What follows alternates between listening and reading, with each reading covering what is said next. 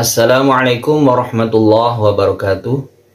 Alhamdulillah wassalatu wassalamu ala rasulillah amma ba'du. Pada kesempatan yang baik ini kita akan belajar perbedaan antara mad jais munfasil dan mad wajib mutasil ya.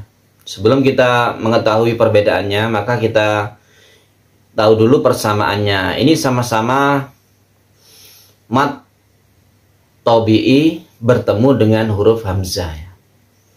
Jadi apabila ada mat tobi'i bertemu dengan huruf hamzah, ini bisa menjadi dua hukum ya, antara mat wajib mutasil dan mat jais munfasil. Kita teliti satu persatu sekarang perbedaannya. Yang pertama dari segi e, makna dari istilah mat wajib dan mat jais. Mat wajib artinya mat itu artinya panjang ya, dipanjangkan. Wajib artinya harus harus dipanjangkan. Harus dipanjangkan dan tidak boleh dipendekkan seperti mat tobi'i tapi dia memang panjang dua setengah alif ya atau lima harokat atau lima ketukan itu maksud saya kalau mat jais jais itu artinya boleh ya jadi boleh antara dua harokat atau empat harokat.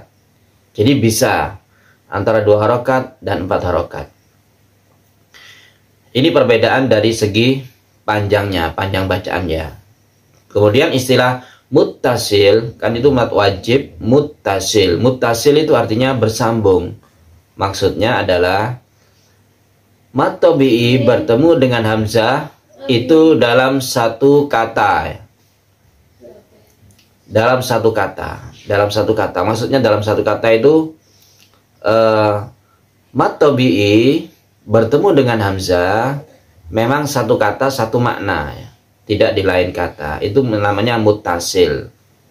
Kalau mad jais itu gandengannya mad jais munfasil ya. Munfasil itu artinya terpisah. Artinya terpisah itu adalah antara mat tobi'i dan hamzah yang setelahnya itu ya itu berada di lain kata ya. Berada di lain kata. Ini maknanya. Dari segi maknanya mad jais munfasil. Mad itu panjang jais itu boleh boleh dua boleh empat harokat atau satu atau dua alif itu istilahnya. Kemudian munfasil itu karena uh, matobinya itu saat lain kata dengan hamzahnya yang yang bertemu setelah itu ya. Ini perbedaannya. Kemudian apa perbedaannya? Kalau perbedaan yang lain itu adalah biasanya, ini biasanya ya. Kalau mat wajib mutasil itu biasanya itu berupa huruf hamzah, huruf hamzah itu ya. Huruf hamzah yang memang hamzah ya, memang hamzah itu ya ciri-cirinya. Kalau mat jais munfasil itu biasanya hamzah juga tapi ditulis ditulis seperti alif ya ada alif kemudian ada di atasnya itu hamzah kecil contoh-contoh dari bacaan mad jais munfasil atau mad wajib eh, dan mad wajib mutasil itu banyak sekali di dalam Al-Qur'an kita contohkan beberapa saja seperti ulaika fis samai binaun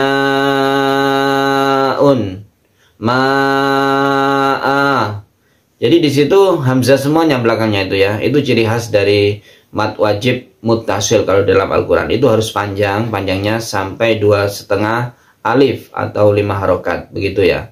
Untuk contoh dari mat jais munfasil misalnya kolu amanna. Jadi kolu lu itu mat tobi'i bertemu dengan amanna. Bertemu dengan hamzah di situ tapi di lain kata. Ada kata-kata kolu ada kata-kata amanna itu namanya mat jais. Oleh karena itu, itu bisa boleh uh, dua harokat atau empat harokat. Qalu amanna Qalu amanna itu boleh. Tapi ingat ya, syarat dari pembacaan majais munfasil ini yaitu apabila kita membaca dua harokat semuanya uh, atau dalam satu waktu ya kita membaca. Apabila kita ingin membaca dua harokat, maka semuanya harus dua harokat biar seragam.